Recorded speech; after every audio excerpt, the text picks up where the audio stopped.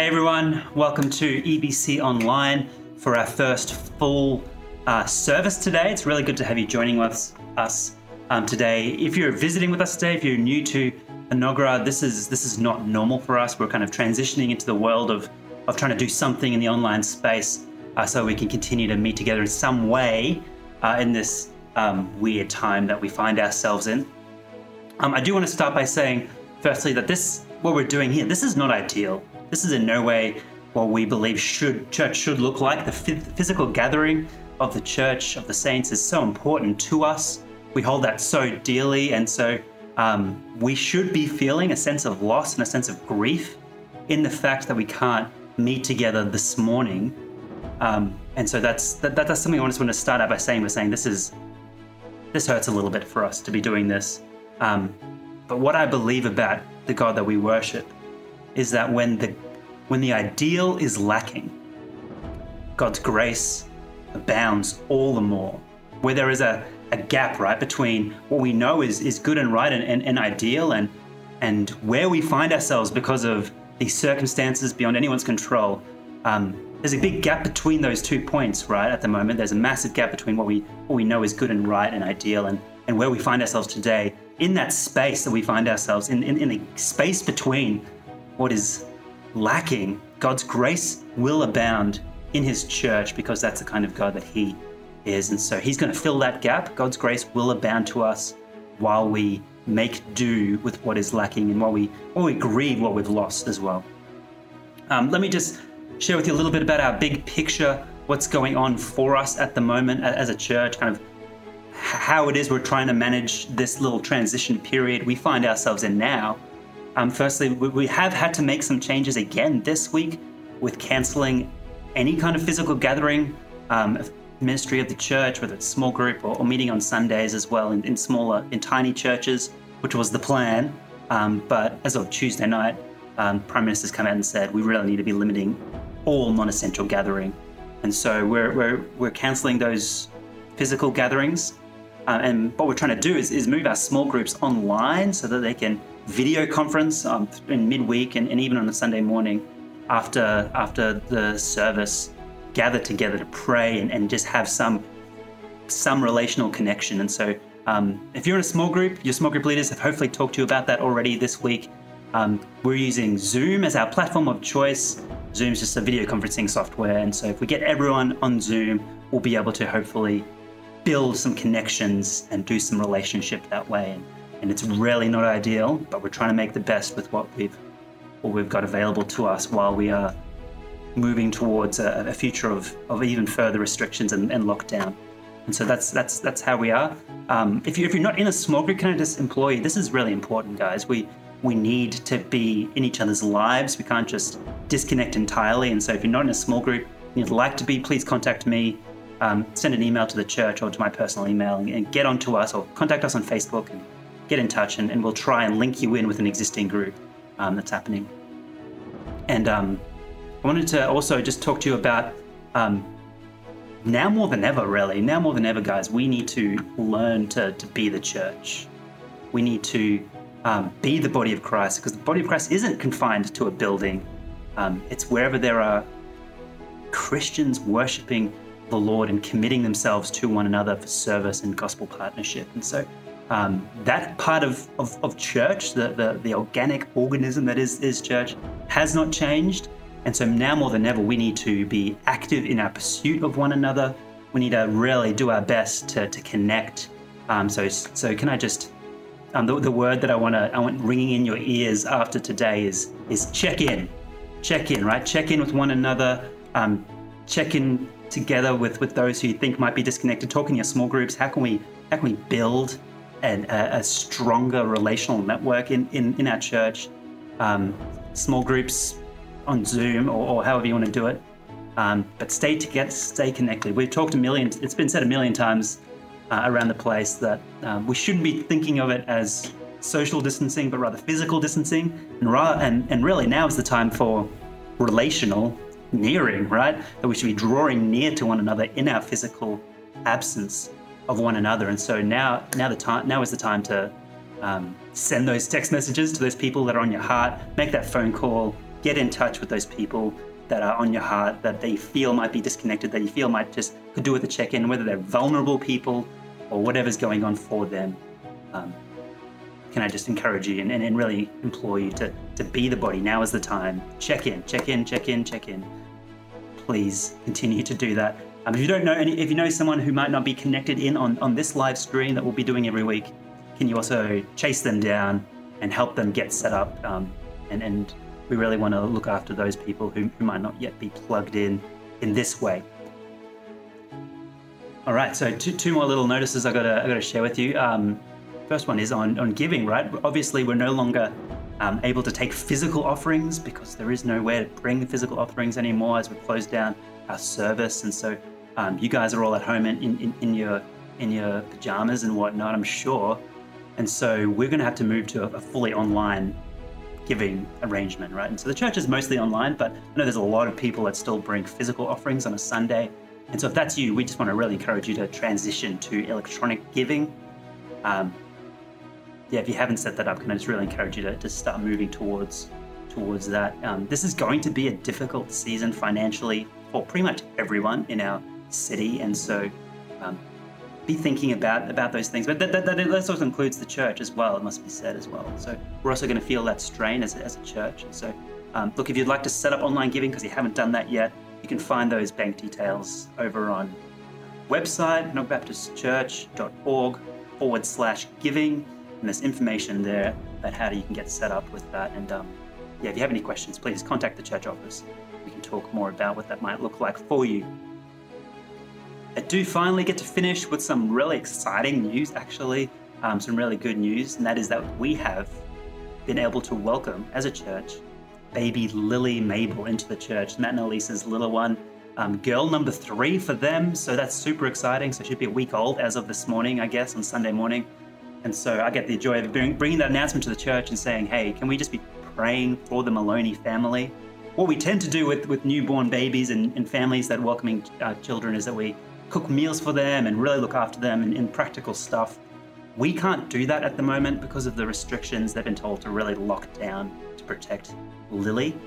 And so we just get to, I suppose, pray as much as we can. That's really all we can do at the moment because physical help is kind of off the table at the moment. So um, can I just really encourage you to keep them in your prayers. Be praying for Lily for health. Be praying for Maloney family, Matt and Elise, that they um, yeah, would just really get to enjoy this time and um, would know the peace of God amidst all the chaos they're experiencing at the moment with a newborn. And so we're going to pray now before we move into a time of worship. And so I just want to um, ask you to join with me. Again, this is a video, however, to the Lord, right? You are you are able to connect with the Lord as well in your in your living room, wherever you find yourself. And so join with me in prayer now for all the things we've just talked about for our service today. So would you pray with me? Heavenly Father, what comfort we can draw from the fact that you are sitting on the throne right now, that you are not freaking out, that you are in control, that all things remain under your, your good guidance. And so, Father, we, we pray now for our city that is in turmoil, uh, that is moving towards being in even more turmoil. Father, we pray for your peace upon it. We pray that now more than ever that we would get to be the church, that we'd get to love people, that we would be praying for renewal and revival in our city, and that you'd use this season as as chaotic and as and as troubling as it is for us, that you would use this season to bring about a deeper love for one another as a church, but also that you bring about new faith.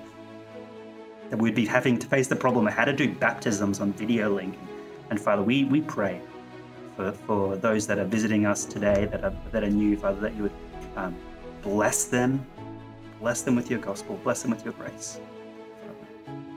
So we pray for uh, Lily, Lily Mabel, and the Maloney family, and we, we just ask for your, your love, your care, your kindness upon that family. You protect Lily from sickness, keep her safe. You would just pour out your peace upon that family that they would know your grace.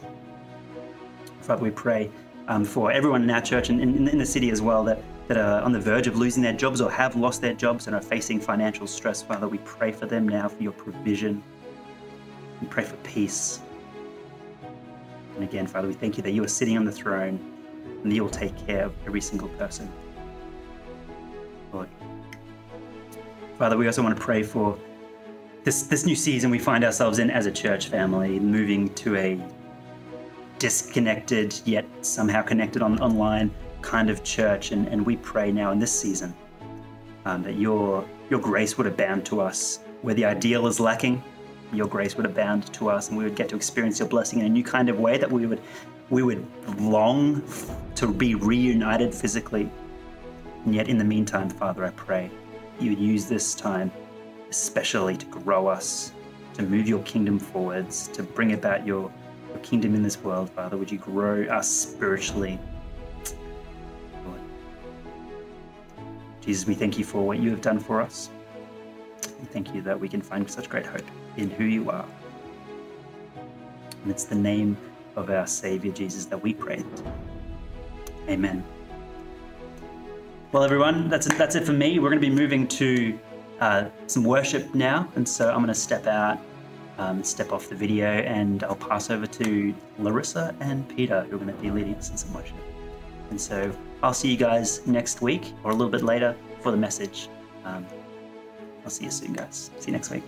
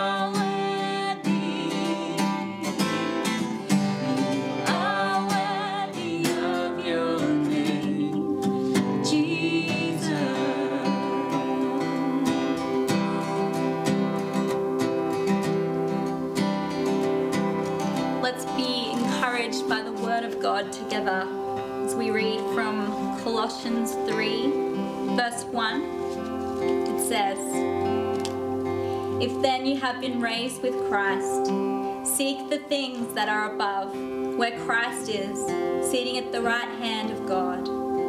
Set your minds on things that are above, not on things that are on earth. For you have died, and your life is hidden with Christ in God. When Christ, who is your life, appears, then you also will appear with him in glory. It goes from verse 15, it goes on and says, And then let the peace of Christ rule in your hearts, to which indeed you were called in one body. And be thankful. Let the word of Christ dwell in you richly, teaching and admonishing one another in all wisdom, singing psalms and hymns and spiritual songs with thankfulness in your hearts to God. And whatever you do in word or deed, do everything in the name of the Lord Jesus, giving thanks to God the Father through him. That's what we're doing here together this morning. Although we are separate uh, in physicality, we are together. We are one in the Holy Spirit and we are being encouraged by the word together as we sing Yeah. truth. Uh, so let's sing of God's truth together, um, like arms linked across the globe with every other Christian. Um, let us be reminded of God's goodness and be reminded of our brothers and sisters who are also singing of the wondrous truth of our amazing God this morning. Let's keep worshiping together.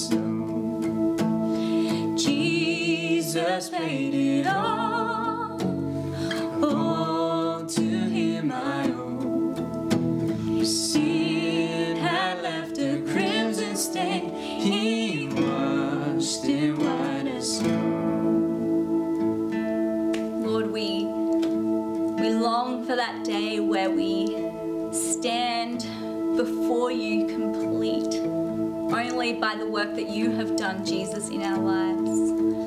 As Colossians said, our lives are hidden with you, hidden with Christ. We have died to our old self, and we are being renewed day by day into greater Christ likeness until that one day when we will stand before you. We will look upon your face and you will look deeply into our eyes with love and joy, immense kindness. And we won't feel terror as we should with the living God at that moment. We will be joyous and peaceful we will be home.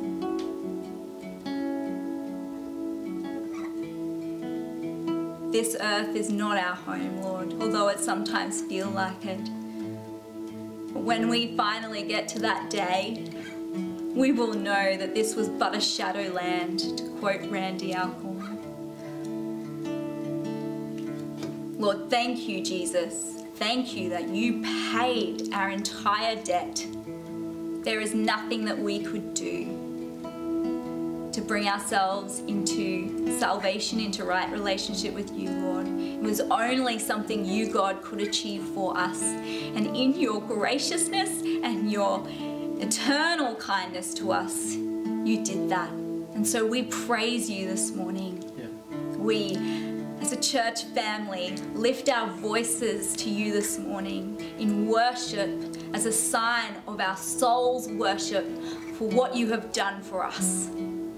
We love you, Lord, and we pray that during this time of great difficulty, that you would stir within us deeper love for you, a greater desperation for you, a peace that transcends all understanding.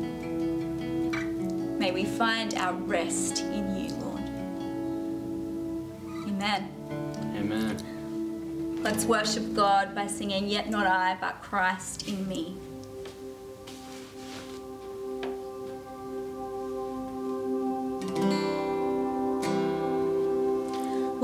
Gift of grace is Jesus my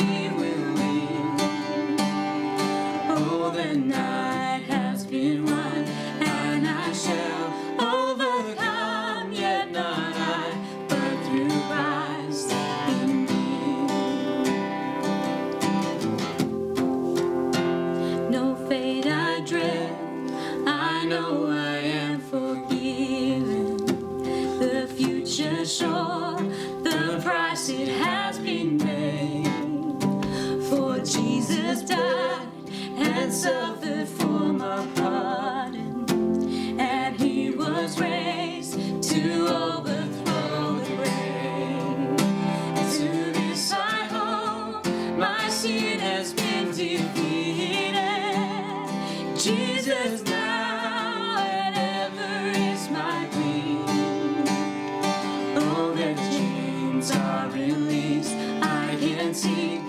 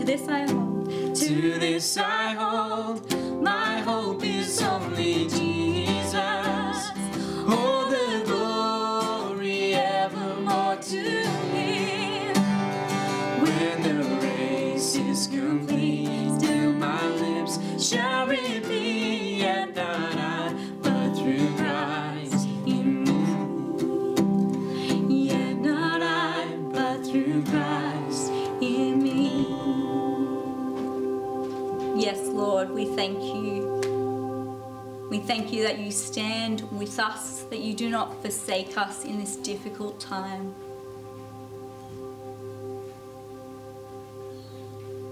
We thank you that you will give us every grace we need for every step we need to take until the day that we are brought home to you. Yeah.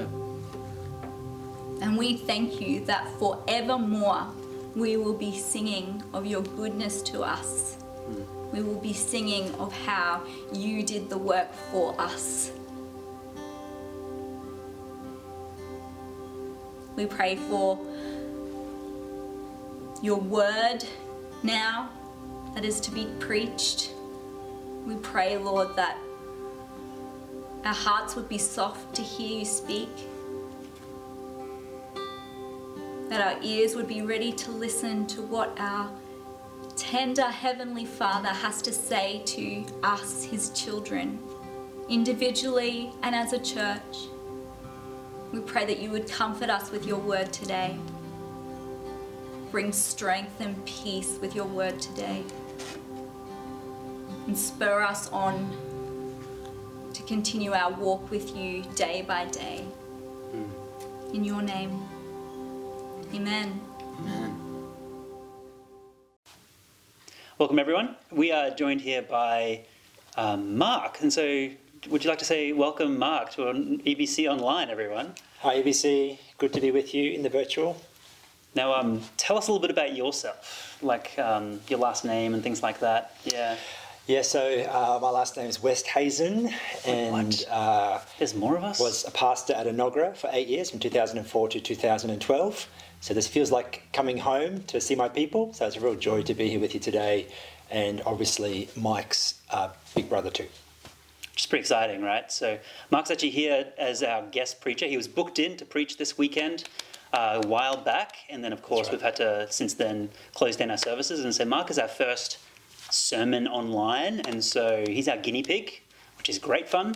Yeah. And so um, yeah, really glad to have you here join us, and really appreciative that you're doing it via via video sermon as well, which takes some extra um, effort for you, I know. And so. Um, Tell us about a little, little bit about where you've been in the last few years since you've left left Enoggera and where you are now. What, what, what are you up to these days? yeah. So I finished at Enoggera at the end of 2012, and then had six years down at Cleveland Baptist as senior pastor there, uh, walking the journey with the church there. And then about 18 months ago, felt really strongly of God saying, "Mark, you've finished the work I've called you to, to do. Um, have a rest." Um, and we'll talk later. So I had a big long holiday, had some long service leave, and then did a, an intentional interim role at Whitehill Church of Christ in Ipswich for 2019, which was fantastic. Such a great blessing to be part of what God was doing. And then I've just started a new role six weeks ago with Queensland Baptists as the Director of Church Health Services.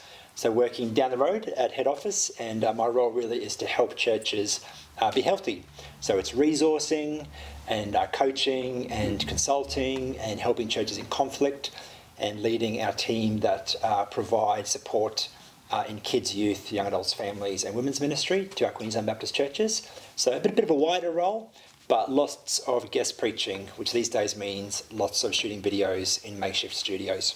Yeah, and uh, married to Alexia, got three children, um, almost 13, almost 11, and Isla just turned 8. So Emerson, Xavier, and Isla. Yeah, Very good. Good kids. good kids. Yeah. They keep it real. I know them personally. um, yeah, well, it's really cool to have you join us. And yeah, today you're going to be bringing the word to us as we move in kind of towards Easter. That's right, yeah. So I believe we're in the upper room today in that's right. Gospel of John. John's Gospel, chapter 13. Awesome. Right. Yeah. So I'm going to I'm going to pray for us today and for my brother Mark, and then we're going to, going to um, yeah hear what the word has to say to us this morning Great. through Mark. Yeah. Let's pray with me. Uh, Heavenly Father, I just want to thank you for the fact that even though we're we're scattered all over the city of Brisbane today, we are one in you. And that we come today uh, before you, yeah, scattered and yet together. And so, Father, I pray today as, as Mark speaks that your spirit would move in us, uh, that your church would bring, your, your, your word would build your church, uh, and that yeah, we would find grace, would find peace, would find mercy, would find love, would find meaning, purpose, uh, would find true life in your word, Jesus. And it's in the name of our Savior Jesus that we pray all these things. Amen. Amen. Amen. All right. Thanks, Mike. Cheers, elbows. Cheers. All right. Thank you for coming. Air five, everybody. I'll see you guys later. Awesome, awesome. We're going to be talking uh, in John chapter 13 today, and uh, the passage we're going to look at, uh, John 13, 1 to 17, finishes with Jesus saying, Now that you know these things, you'll be blessed if you do them. Now that you know these things, you'll be blessed if you do them. So, what things is Jesus talking about that we're supposed to know, and how do we do them? So we'll be blessed. It's interesting because he says you, now that you know, and the you that he uses is plural. So essentially, Jesus is saying to the disciples gathered in the upper room, you know, as part of the Last Supper, he says to them, You guys, if you do this, you'll be blessed. Your, your community will flourish. And I think, in essence, what Jesus is saying is if you do these things, you'll have the kind of community you've always dreamed of. The kind of community you've always dreamed of if you do these things. Because to be honest, like, I think we're all looking for that perfect community, aren't we? We're looking for that, that group of people, whether it's a church or a small group or a football team or a cul de sac or a working environment. Um, a group of people where there's no issues, like there's no politics, there's no drama, there's no power plays, there's no in crowd and out crowd, there's just everyone together in harmony, in, in unity, where everyone is valued, where every idea is included, where, where no one feels rejected, no one feels overlooked, no one feels isolated, no one has to jostle for position because everyone is doing whatever they can to make everybody else feel warmly welcomed in this uh, community. We're looking for the kind of kind of perfect community. And our world tries to sell us this dream all the time. Have you noticed when they do like new land releases for a new housing estate, they don't have pictures of land and they don't have pictures of buildings, like houses. All the pictures, all the videos are people riding their bikes through parkland, walking their dogs, having a picnic, throwing a frisbee. Right? It's like a Coke ad. It's trying to create the kind of community. It's promising this idyllic, utopian community. And Jesus says, if you do these things, you'll be blessed. You'll have the kind of community you've always dreamed of. John 13, uh, 1, uh, 1 to 17. And it's the passage where Jesus washes the disciples' feet. Now, this passage is a real turning point in John's gospel. In fact, you can pretty much draw a line at the end of chapter 12 and the start of chapter 13 as two, two parts, really, of the Gospel of John. The first part is often called the book of signs, and the second part is often called the book of glory, because the key theme is the glory of God revealed in Christ through his death and resurrection. There's this turning point that happens right here in this, in this passage. So, verse 1 It was just before the Passover festival. And Jesus knew that the hour had come for him to leave this world and go to the Father. Having loved his own who were in the world, he loved them until the end. Jesus is looking towards the hour, the hour of his death and his resurrection, where the glory of God will be revealed um, through sacrifice and through suffering. The evening meal was in progress, and the devil had already prompted Judas, son of Simon Iscariot, to betray Jesus. Jesus knew that the Father had put all things under his power and that he had come from God and was returning to God. So he got up from the meal, took off his outer clothing, wrapped a towel around his waist. After that, he poured water into a basin and began to wash the disciples' feet, drying them with the towel that was wrapped around him. Now, this dinner uh, is probably the Last Supper. John tells the story differently to the other Gospels. Uh, he's much more interested in themes and images and ideas. The other writer's much more interested in the chronology of events and all of that. But we think it's the Last Supper um, event here that Jesus is talking about. Now, the etiquette in a time like this is that uh, when visitors came in from the road, they would have to be washed before sitting down uh, for a meal, and especially a very important meal like the Last Supper. So they'd come in from the street, they're wearing open sandals, they're walking on dusty roads, there's no um, antifungal cream, there's no medicines, there's no uh, tarred roads, there's animals, donkeys, and camels and horses. So basically, what you need to know is in the ancient world, feet were gross. They were disgusting. So when you come into a house, you would have to wash your hands and wash your feet. Now, in the Jewish household, there was a hierarchy of, of servants and slaves, and like you've seen Downton Abbey, right? You understand how this works. There's a hierarchy in the in the servants, and uh, the higher up the food chain you are, the better jobs you get, and the lower you are down the food chain, the worse the jobs you have to do are. Second from the bottom was the servant or slave whose job it was to take off the master's shoes at the end of the long day, to undo the straps of the sandals. So when John the Baptist, earlier in John, says, I'm not even worthy to undo the master's sandals he's placing himself right near the bottom of the food chain, of the hierarchy. The lowest step, the bottom of the food chain, the dangler, their job was to wash the feet of the master and any of their visitors. And that's what Jesus does. Jesus puts himself right at the very bottom of the hierarchy. He humbles himself, he actually humiliates himself. In fact, in some provinces, it wasn't lawful for a Jewish servant to be asked to wash the master's feet. Some, in some areas, Jews were exempt, only um, Gentiles were low enough to be able to be a foot washer. And Jesus comes and he gets up from the table and he begins to put a towel around his waist. Now, we don't really appreciate just how full on this is, how offensive this is, how, how bizarre this is. I was thinking about like how do you describe to to kind of modern Western people who are familiar with the story, just how like whoa, uh, breaking social etiquette what, um, what, Jesus does.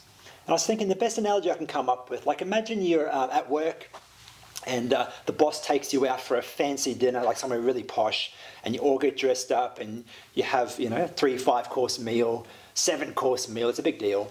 And at one point you go to, to the bathroom and uh, when you come out of the stall, having flushed, you realize that your boss is standing there and he says, "He say to me, Mark, let me wash your hands for you.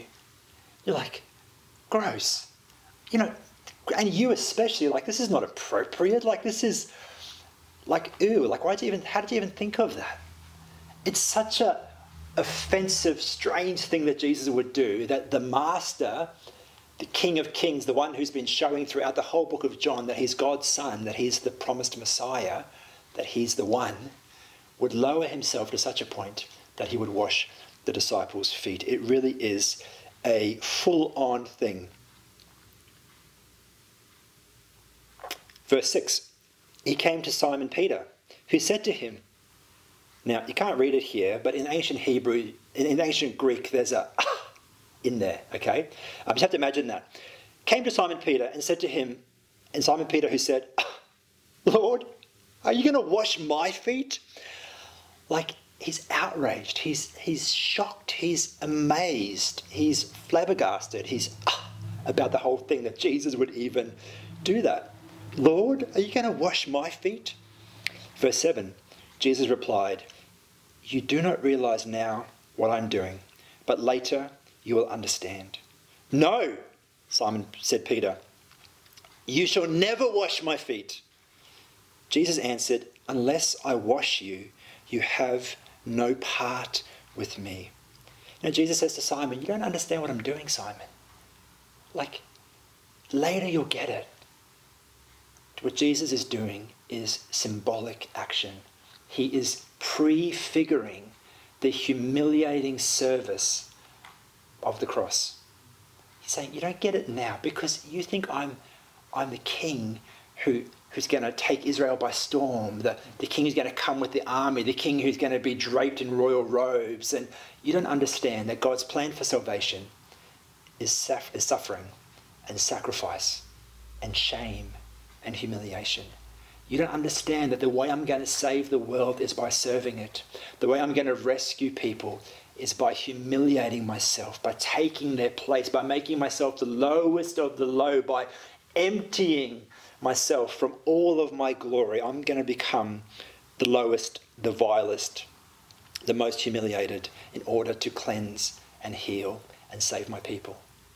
And I'm reminded as I read these words of uh, Philippians 2, where it says of Jesus, He made Himself nothing, taking on the very nature of a servant, being made in human likeness, and being found in appearance as a man.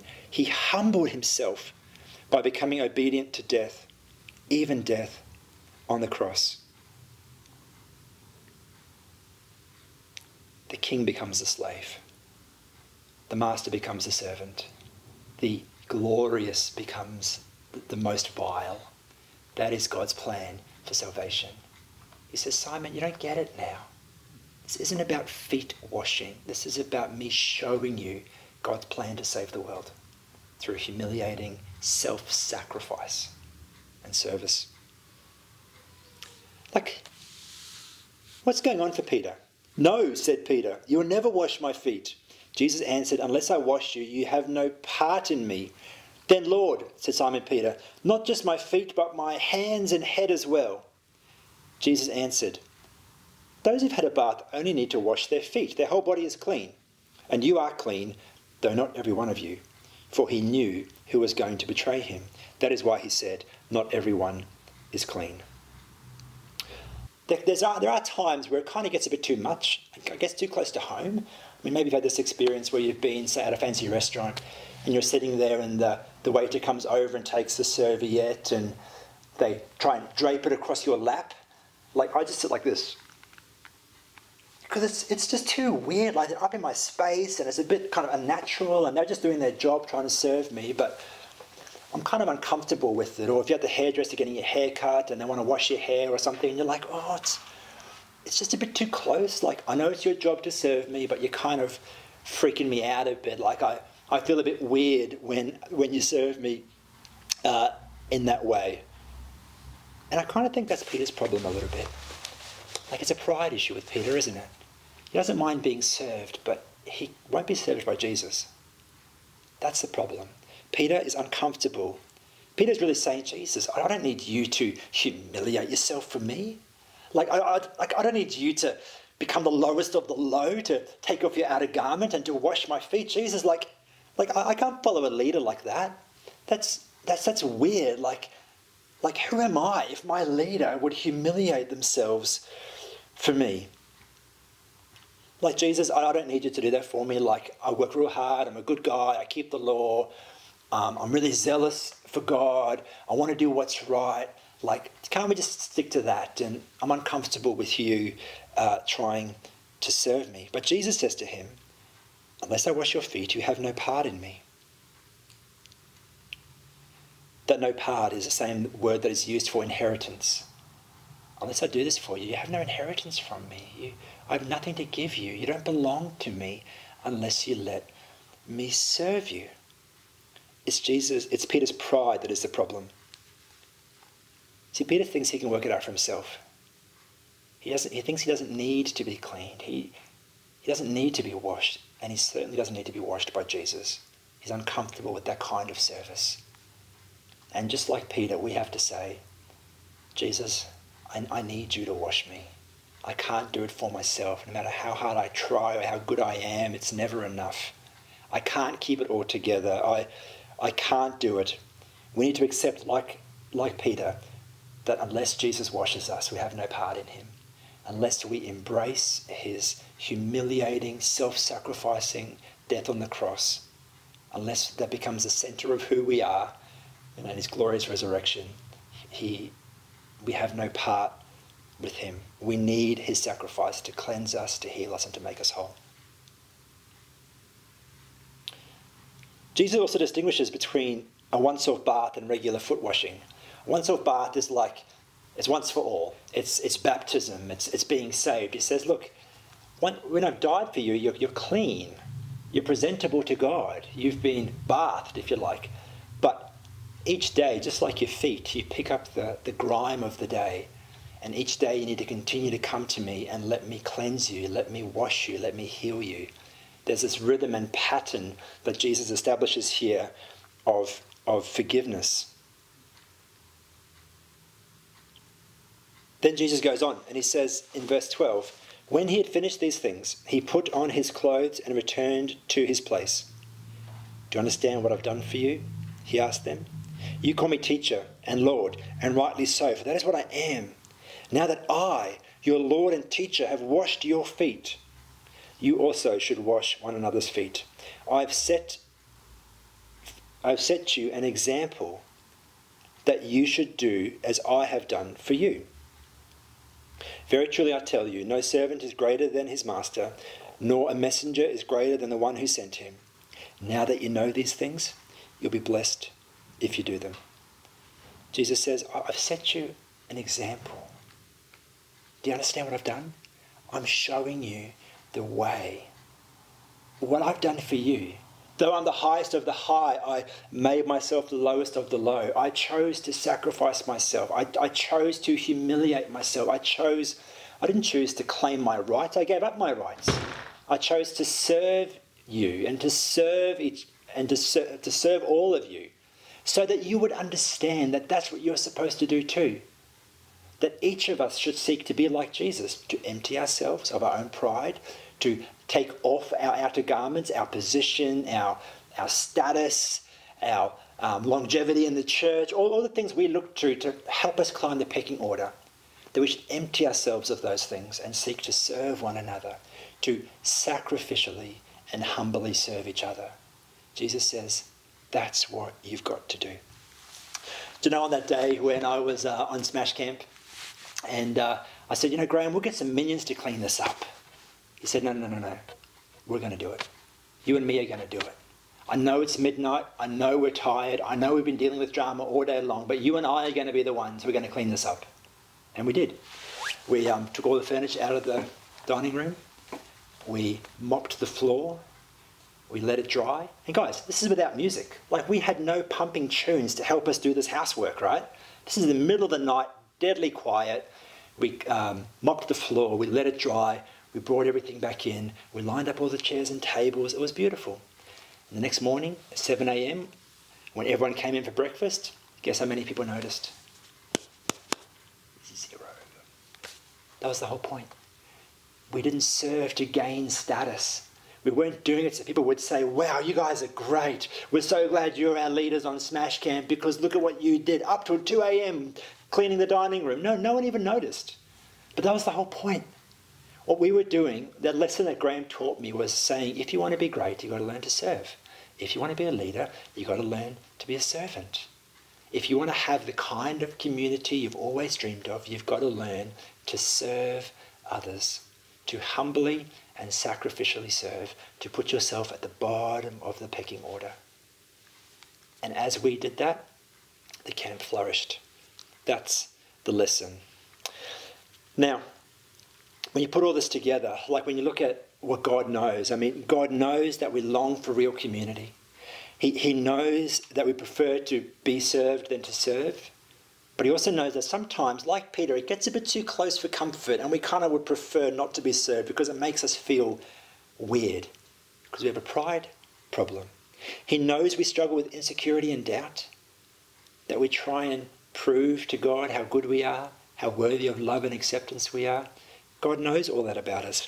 He knows, like Peter, we're prone to try and save ourselves through our hard work and achievements and status and good deeds.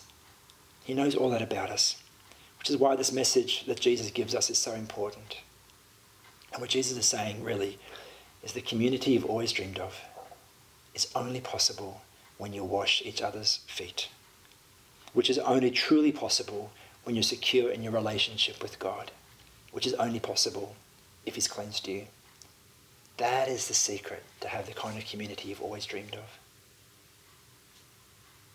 The community you've always dreamed of is only possible when we wash one another's feet, which is only truly possible when we are secure in our relationship with God, which is only truly possible when He has washed us. To say that another way, when you've been cleansed by Christ, you know who you are in Him. You're secure. So you don't need to compete. You don't need to prove anything. You don't need to be better than other people. That means that you're free to wash the feet of those around you. And that means that as we all do that together, we'll experience the kind of community we've always dreamed of. We'll be blessed if we do these things. And just in the time we've got left, I want to quickly unpack those couple of things. The kind of community we've always dreamed of. That's a community where everyone's included, where there's no power plays, where everyone is looked after, where there's no politics, no drama, no deception, but it's a grace filled, inclusive, um, loving, warm community. Now, of course, we know that that's not totally possible in this life. We need to be in the new heavens and new earth to experience that fully. We can certainly work towards being that kind of loving community that fulfills us, that gives us joy, the blessed gathering of God's people. Now, that's only possible when we wash the feet of those around us. Now, by washing the feet of those around us, I don't mean like literally washing their feet. That's an example Jesus used to make a point. But the point he made is that we should humbly and sacrificially serve one another, even in ways that seem to humiliate us. That each of us should do what he did to give up our status, to give up our place in the pecking order, and to choose to lower ourselves, to empty ourselves, to serve one another, to place ourselves at the bottom. Jesus says, I've given you an example. Now go and do the same for one another. And this is only truly possible when we are secure in our relationship with Jesus. This is really important because often what we do, and I think this is Peter's problem, is he based his relationship with God on his relationship with other people. In other words, he would say to God, I mean, Jesus, See everything I've done for you? See how hard I've worked for you? See how good I've been for you? See how I was the first one out of the boat? I was the first one to do this, the first one to do that? Jesus, can't you see how hard I'm working? How much I'm trying to, to be good? See, see, see? Do you love me? Am I safe? Do you accept me? You see, Simon Peter was so insecure because he was trying to base his relationship with God on his service for God, his relationship with other people. That's why he's so freaked out when Jesus wants to wash his feet. It doesn't make sense. He can't do it.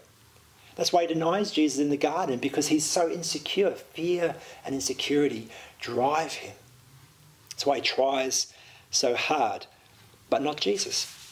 You see, in this passage, in verse 3, it says this Jesus knew that God had put all things under his power that he had come from God and was returning to God.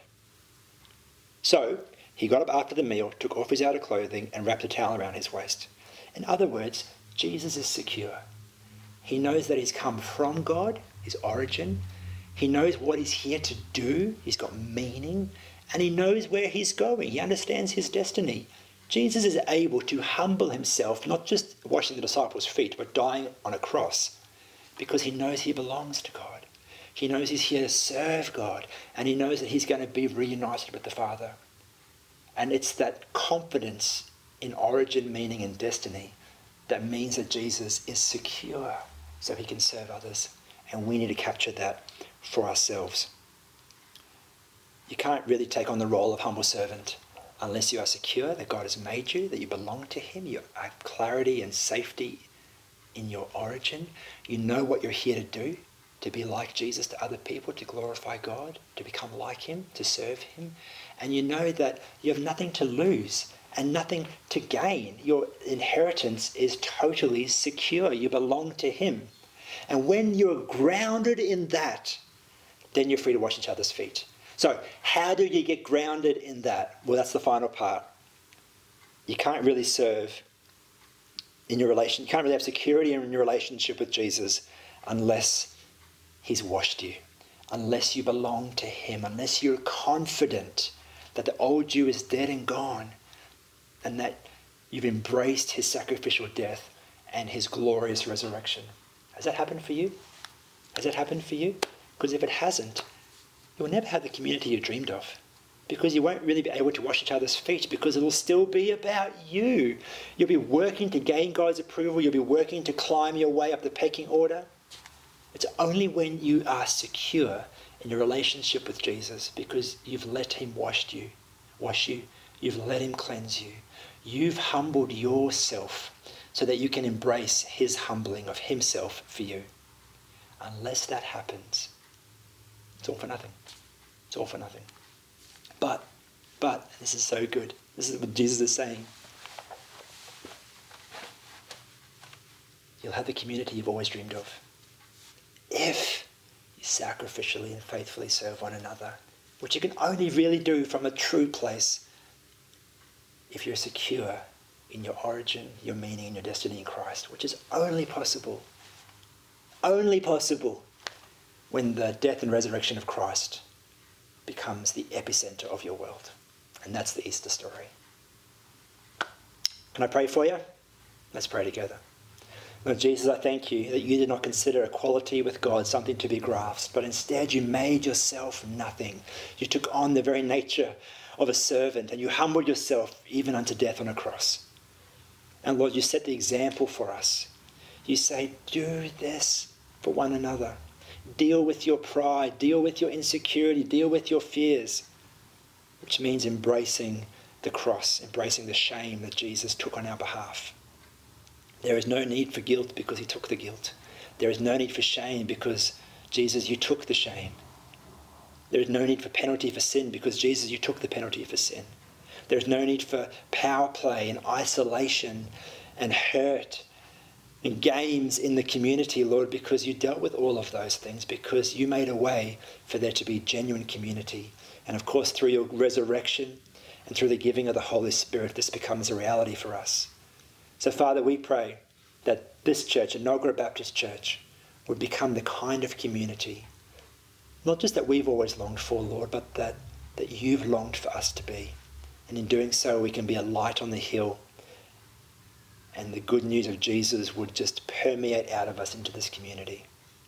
Thank you for the cross. Thank you for the empty grave, and thank you for the Spirit. Amen. God bless you guys. Look forward to watching it on live stream.